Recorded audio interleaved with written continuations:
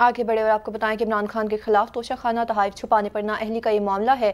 Chief election commissioner की सरबराही में पाँच रुकनी बेंच ने केस की समात की है। हुकूमती इतिहादी जमातों ने इमरान खान की नाअहली का रेफरेंस दायर किया था। हमें केस की कॉपी मौसू नहीं हुई है। वकील तहरीक इंसाफ का कहना है कि हम अगली समात पर दलाइल देंगे। इलेक्शन कमीशन ने केस की समात बाईस अगस्त तक के लिए मुलतवी कर दी है। आपको अपडेट करे हैं कि इमरान खान के खिलाफ तोशा खाना तहाइफ छुपाने पर नाअहली का ये मामला है। चीफ इलेक्शन कमिश्नर की सरबराही में पाँच रुकनी बेंच ने समात की है। हुकूमती इतिहादी जमातों ने इमरान खान की नाअहली का रेफरेंस दायर किया था। हमें केस की कॉपी मौसू नहीं हुई है। तहरीक इंसाफ के रहनुमा की जानब से कहा गया कि हम अगली समात पर दलाइल देंगे। मावन वकील तहरीक इंसाफ का कहना है कि अगली समात पर इनकी हाजिरी और दलाइल को यकीनी बनाने की हिदायत देंगे।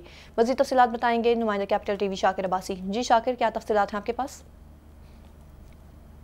जी, बिल्कुल तोशा खाना के हवाले से केस की जो समात थी, वो इलेक्शन कमीशन में हुई और चीफ इलेक्शन कमिश्नर की सरबराही में पाँच रुकनी कमीशन ने इस केस की समात की। मोहसन शाह नवाज़ रांझा समेत पाँच हुकूमती एम जो हैं, वो आर्टिकल सिक्स सी के तहत उन्होंने रेफरेंस दायर किया था। दरख्वास्त गुजार मोहसन शाह नवाज़ रांझा भी इलेक्शन कमीशन में पेश हुए।